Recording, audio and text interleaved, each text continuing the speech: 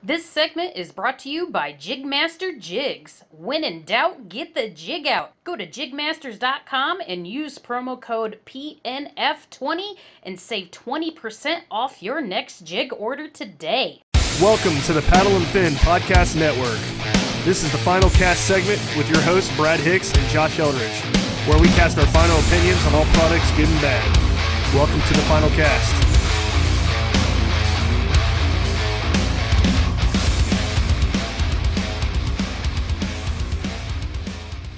Welcome back to the final cast. I'm your host, Josh. Today, we have two special hosts with me. We have Zachary Eldridge and Colin Eldridge. These two little boys are mine. And we're going to talk about kids' fishing rods today, aren't we, boys? Yeah! Yeah? You ready? Yes. Are we going to have some fun? Sure. Yeah? All right. So, uh, recently I just bought the boys some new fishing rods. Zachary's used uh, three different rods, Colin's used two different rods. So, we're going to go over those and we're going to ask their experiences. I figured what better way to ask some opinions of kids' fishing rods than a five year old and a three year old, right? I'm Five. You're going to be five here in like seven days, dude. You're three? You gonna tell everybody? All right, let me ask you guys some questions, all right? You ready? Yeah. Zachary, you're up first. How many years have you been fishing? Mm, what? Four years. Four years. So you're about to be 5 Mhm. and you started fishing when you were one year old? Are you sure about that? Mm-mm. No, I didn't think so. Zachary's been fishing for like maybe five times total. Like give or take in the past year. Colin, how long have you been fishing for? Three. Three years? Yeah. So you've been fishing since the day you were born? Man, you guys are some pros. So what's your favorite kind of fish to catch, Zachary? Mm, bluegill. Bluegill? What's your favorite, Colin? Um, orange. You like catching orange fish? Yeah. Like goldfish? Yeah. All right. So, you guys got anything ni- you want to say to the people? You want to say something nice? What do you want to say? You what do you want to say? Um, I got a new fishing rod and I got it. You got a new fishing rod and what? I got a new fishing rod and it has a fishy and a new bobber. A new bobber? What about you, Colin? You got anything to say? I got a fishy and it hangs on the thing and it go on the bowl. All right. So, um, let's talk about rod number one. Okay.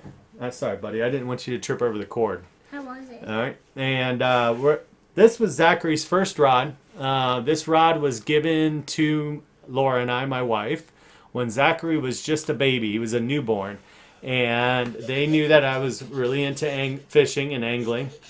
All right, stop. And so you want to hold this one up, Colin? Be careful; it's got a hook on it. This one, this prize gem, is a Zebco Dock Demon. Um, it is approximately maybe three feet long, maybe a little bit over from rod butt to rod tip. Uh, comes in this fancy clear red coloring, and this was Zach's first fishing rod. Um, Zachary has used this maybe four or five times. Um, and this is the one he actually will catch like actual fish on. Um, it doesn't cast very well, does it, Zachary? It's kind of hard to cast it. And it's even weirder when you when you uh, actually like try to reel a fish in, isn't it? doesn't yeah, push that button. yeah, you don't want to push the button though. Right, not right now. No. So Daddy, this is the Dock Demon from Zebco. It's got all it says all metal gears. Um, it's great for a fishing rod. So with the Dock Demon, it has uh, one little handle here. Um, it's a, not too bad to really cast overall. Earlier we said it was hard to cast. It's really not. It works well if you're just throwing um, some worms out and you're blue and gill fishing. You're not really trying to cast super far. Obviously, the shorter rods don't cast far, but uh, as far as accuracy, even that's kind of hard. But we have it rigged up with a little bobber here. Um, probably a. Uh, I- we actually waited this one weightless and just let the worm kind of float subsurface, and we got a lot of bites from bluegill on that. We were fishing like right up underneath the dock that we're standing on, so they were literally just be able to drop it in the water and catch fish on it. Zachary, what was it like catching your first fish with this? Um, catching one sunny, We didn't catch any sunnies. We caught bluegill. Remember? um, one bluegill. You caught probably four or five though, but you did catch one totally on your own, didn't you? What was it like catching your first fish? So amazing. It was so amazing. Yeah. And Colin, what was it like when you got to catch your first fish on this? Um, I go on a fishy. You got the fishy? Yeah. All right. Well, that day that we caught this fish, before we went, I decided I wanted to get Colin a rod also. Um, when we got there, um, I had seen these in, in Cabela's before, and they're called Kid Casters. Uh, they make these in like you know your various cartoon characters, superhero characters like Paw Patrol, Spider Man, Superman, probably all kinds of different ones. But they actually opted to get the green camo, and then which one is that, Zachary? The black and white camo, and with the orange accent. So they came with uh, a bobber, and uh, here, here you go. They're there, and they have little buttons. All right, so. So you can if you can see here, it has a little like safety hook is what they called it, and a little plastic fish that has actually some weight to it. Um, could pretend and we, to catch fish. well, there was for actually, yeah, you could pretend you caught fish, but it actually was made to help them practice casting without hooks and to have some weight so they could actually do that. What did you guys think of using these? What was your favorite part of doing that? Um, getting my fastest fish. You didn't Um, catch a fish on this one though, remember? Uh, You you practiced you practiced casting with these. casting. Did you think it was easier to cast with this than the Dock Demon? Yes. Yeah? Would, did you think it was easier to cast with these? Yeah. All right. All right. So, um, with these, you can actually obviously hook them uh, up with like you know real ter- uh, tackle, terminal tackle. Um, I just I wanted to get them something to practice with so they could practice casting some more without worrying about hurting themselves or somebody else. Uh, but probably about halfway through, halfway through, they um, ended up wanting to catch some real fish, so we switched over to the Dock Demon and and reeled in a few few bluegill that way. So uh, these are great for uh, learning how to cast. It's pretty cool. It's uh, like a tangle-free setup. The line runs through the rod itself, comes out the end. Uh, there's instructions of how to actually thread it that way. Uh, included with the rod, and you can look it up online. So check out kidcasters.com. Um, so, what do you guys think is your favorite rod so far? This one. You like the Dock Demon? What's your favorite one, Colin? That one's a You like the Kid Casters ones because you could like chuck that all around. You guys remember how many times we got tangled up that day? yeah. Yeah. Were we standing too close to each other? Can I do it now, Daddy? What do you want to do? Like a bird. Oh, you want to hear it? All right, you can listen. but um, so Zachary had actually the chance though to fish one of my light setups that I like to panfish with sometimes, Ooh. which is um, a Fenwick Eagle, um, fairly cheap rod. Uh, I think if you could probably get one for like fifty bucks, and then I have a uh, Daiwa ooh, Legalis. Uh, nothing like super fancy. I just bought this kind of to bluegill fish a little bit. Um, I rarely used it. It's fine. No big deal, buddy. Um, so Zachary got to use this when we went camping with Ricketts one day. Okay, you can. Just wait for a little bit, okay? Um, so we, uh, Zachary, what did you think of using this? What was hard about it for you? Um, by casting. Casting this? What else? Um, I couldn't cast very well. Yeah, was it too big? Too long? Like, too hard to handle? Zachary kept setting it down on the boat, and he really kind of wasn't into fishing with this. This was too big of a setup for him, and um, so we put it away. And uh, unfortunately, I didn't bring the Dock Demon. That was when we went kayak fishing and camping with uh, Jason Ricketts and his son Pierce. So we had a lot of fun, though, didn't we? Yeah. You want to get down, sit down over here by yourself? Yeah. All right. So, Colin, what's been your favorite thing about fishing so far? Um, swimming. Swimming? You like swimming? All right. What about you, Zachary? What's been your favorite thing so far about fishing? Catch fish. All right. So, what what are you looking forward to in the future with fishing? Do you want to get better at it? Better Do than you- with that spider thingy. That spider thing for the rag net? Mhm. Yeah. What do you think? Uh, when do you think you'll be able to get your own kayak? Mm, none like you. you don't have to be as big as me to get your own kayak. Um, How about when we when you totally learn how to swim? when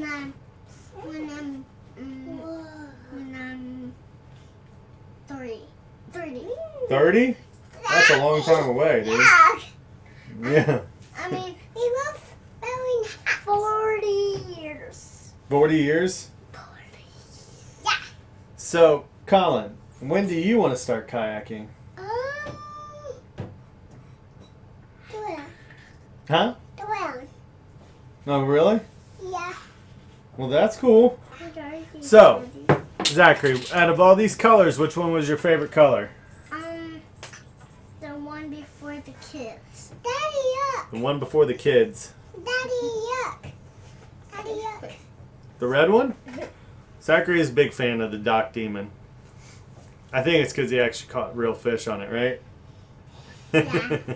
what if we were, though, to set up the kid caster with a real hook and bobber? Do you think you would like this one better? Yeah. How come? I don't know. I do not know, Daddy.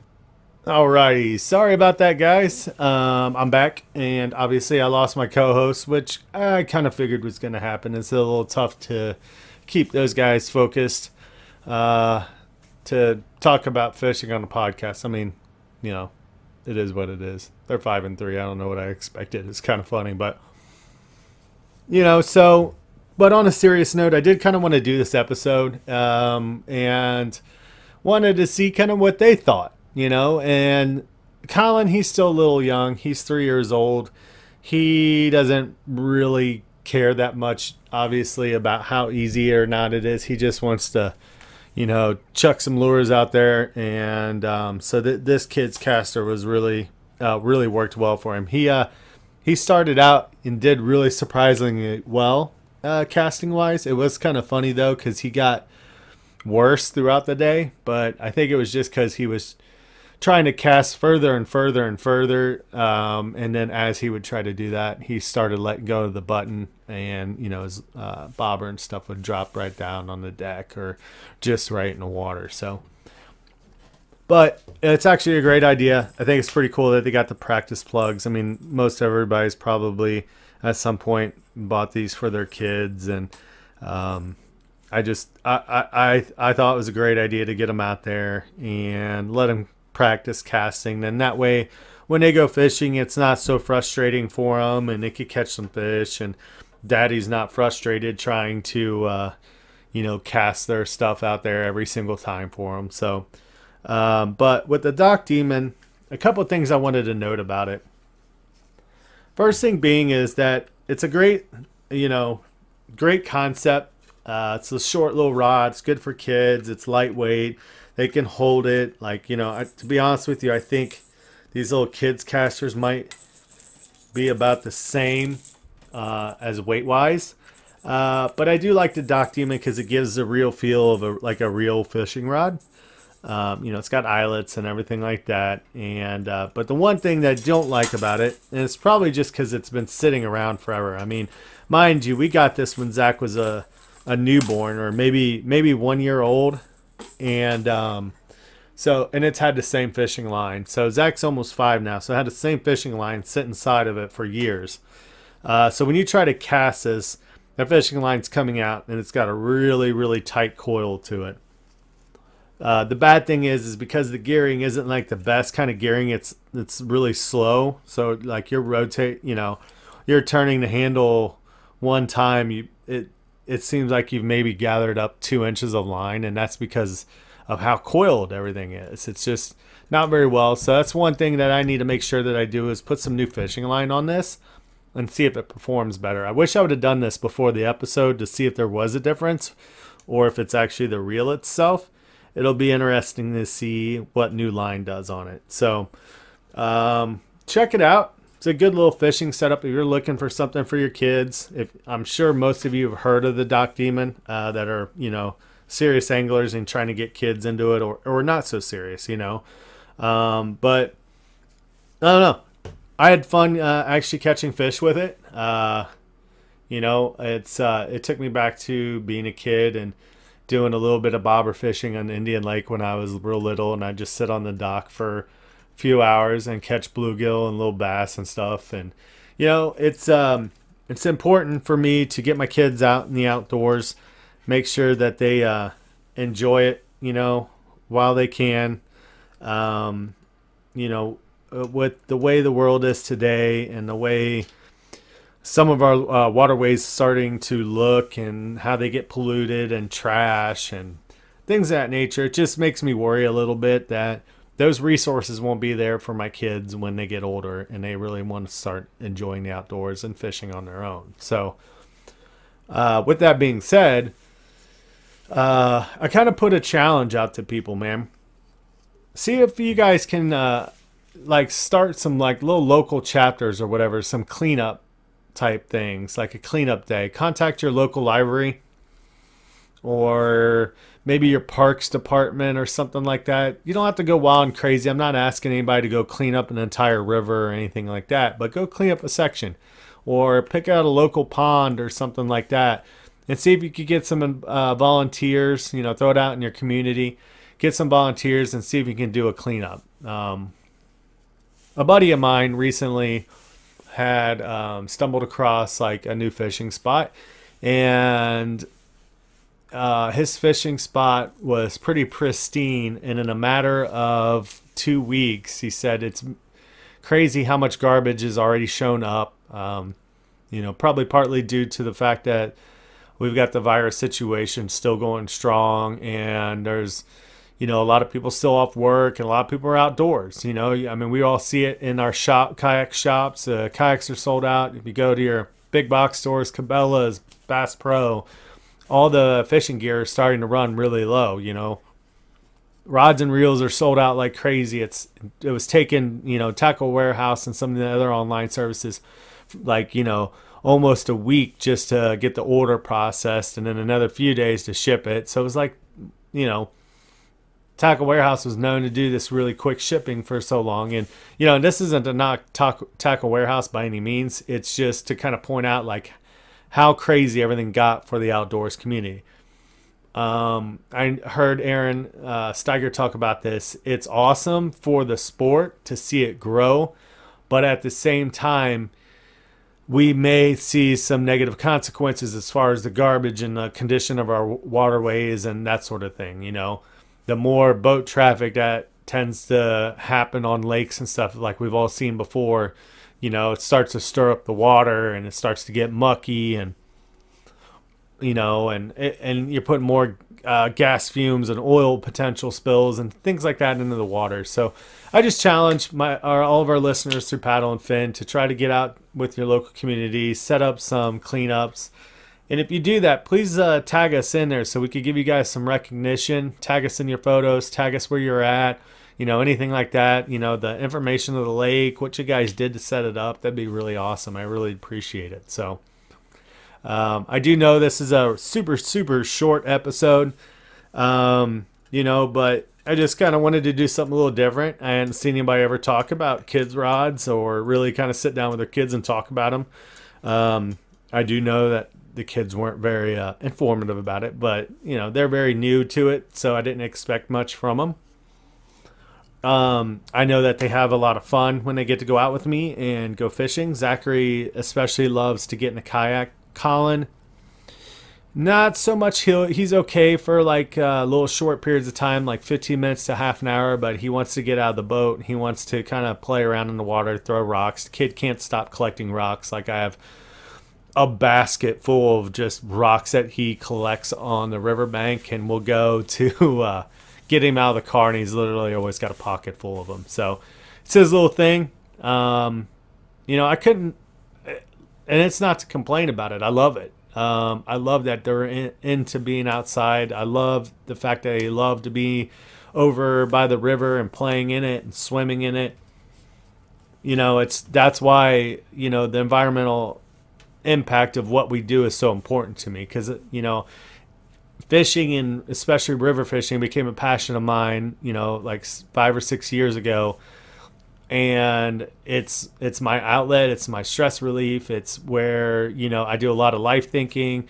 Um, angling's just kind of secondary really when it comes to getting out on the water and enjoying nature. So that's you know it's important me for us to keep keep you know being stewardess to the environment being conservationists like just get out there practice catch and release when you can you know? Uh, you don't need to go out there every day and fill fill up the freezer. It's just not needed you know? And this goes for saltwater and you know freshwater i know uh, saltwater it, it, they deal with the same problems that i see here in ohio so um, but then again you know it's all about being outside I don't want to deter anybody from not being outside because of things like that. Uh, just kind of clean up. You know, it, it sucks when we see the stuff out there, the garbage in the trees from floods and that sort of thing. But, you know, just take some time. Go out there one day, spend some time with some friends and clean it up. And, you know, we can make it a lot better. You know, I'd like to pass this on to my children just like you guys would. So, um, but with that, check out the Dock Demon from Zebco. Uh, the other ones were the Kid Casters. Like I said, they make them in all kinds of superhero cartoon type themes. And um, yeah, with that, I do want to say thank you for everybody for listening to today's episode. Again, sorry it was so short. Uh, there's not much to really kind of go over too much with a five and three year old about these rods, but they had a lot of fun doing it. They were excited. So, with that being said, tight lines and smooth paddling. See you guys. Thanks for tuning in to another killer episode on Paddle in Fin. Don't forget to go check out our website at paddle, the letter N, and fin.com. Don't forget to check out the YouTube channel at Paddle and Fin. If you got a question, comment, want to hear from a future guest on a future episode, feel free to email us at paddle, the letter N, and fin at gmail.com. Don't forget to follow us on social media at Paddle and Fin on Facebook and Instagram. Shout out to our show supporters, Angler. The Angler button and app just makes for a better time on the water and creates a virtual logbook for every fishing outing out on the water. Shout out to Rocktown Adventures, located in northern Illinois, for all your kayaking, camping, and hiking needs. TRC covers, protect your investment. Ketch products, shout out to Ketch Products. Go to ketchproducts.com and put the paddle in fin logo directly on your Ketch board. Shout out to Jigmasters Jigs. When in doubt, get the jig out. Go to jigmasters.com, use promo code PNF20 and save 20% on all your jig and tackle needs.